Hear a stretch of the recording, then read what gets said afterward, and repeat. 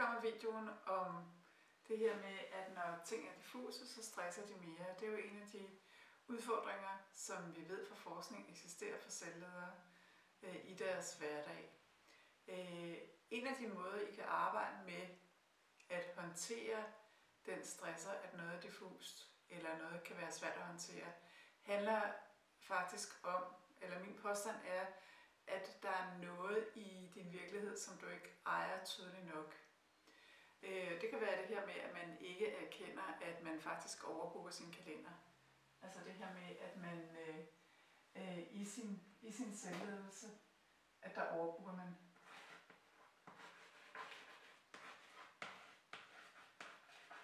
Det kan også være, at der er de her diffuse opgaver, eller små og diffuse opgaver,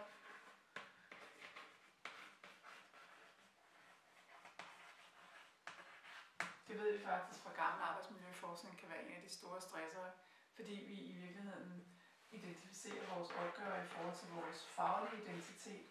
Så alle de små opgaver, der ligger ved siden af, som vi også skal passe, dem glemmer vi simpelthen at få med i vores øh, planlægning, sådan at vi kommer til at, skulle, når vi skal håndtere det, så er der selvfølgelig ikke plads til det. Så det er i hvert fald en af de ting, så, det, så en af de første ting, som vi skal arbejde med, det er i virkeligheden at få konkretiseret, hvad det er, der skal ind i den her hverdag. Hvad er det for nogle ting, vi, vi bokser med, som er svære. Øh, noget andet er det her med, at man kan tale om, om øh, den måde, man ser sin virkelighed på. Altså vi toner vores virkelighed med vores tanker og forståelser. Så det her med, hvordan vi ser og forstår vores virkelighed som person, når vi er os i vores arbejdsdag, kan også være en stresser.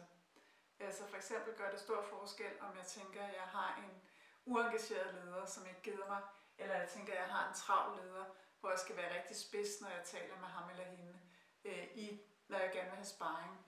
Øh, fordi det, at jeg taler om det på en måde, hvor det ikke har noget med mig som person, men hvor det mere handler om at se den andens virkelighed, giver mig selv et større rum herom.